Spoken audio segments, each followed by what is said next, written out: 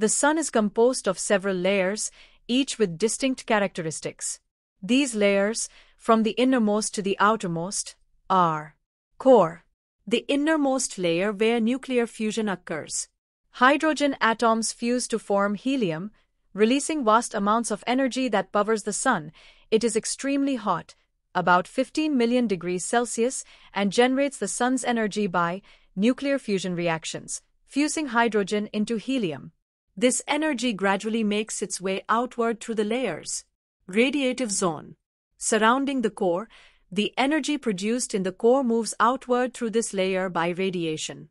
The temperature here is slightly cooler than the core, about 7 million degrees Celsius. Temperature ranges from 7 million degrees Celsius, 12.6 million degrees Fahrenheit, near the core to about 2 million degrees Celsius, 3.6 million degrees Fahrenheit, near the convective zone, but it can take thousands to millions of years for the energy to move through this zone. Convective zone. Above the radiative zone, the temperature drops to around 2 million degrees Celsius. Temperature. About 2 million degrees Celsius, 3.6 million degrees Fahrenheit, at the top, down to around 5,500 degrees Celsius, 9,932 degrees Fahrenheit, at the base in this zone. This layer is where heat is transported by convection currents. Hot plasma rises toward the surface, cools down, and then sinks back into the lower layers in a continuous cycle. Photosphere. The visible surface of the Sun, where light is emitted and heat we receive on Earth.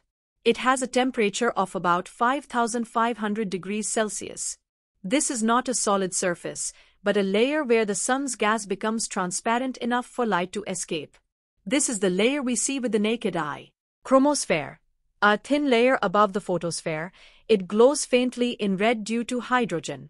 It is a transitional layer between the photosphere and the corona and has a temperature of about 20,000 degrees Celsius. Temperature about 6,000 degrees Celsius, 10,832 degrees Fahrenheit at the bottom, rising to 20,000 degrees Celsius, 36,032 degrees Fahrenheit at the top. Corona, the outermost layer of the Sun's atmosphere, a hot, ionized gas, plasma, extending millions of kilometers into space. The corona is much hotter than the surface, with temperatures ranging from 1 to 3 million degrees Celsius. It is visible during a total solar eclipse as a white, halo-like glow.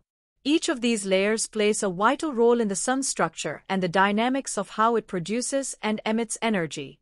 These layers work together to produce the energy and radiation that powers the sun and supports life on Earth.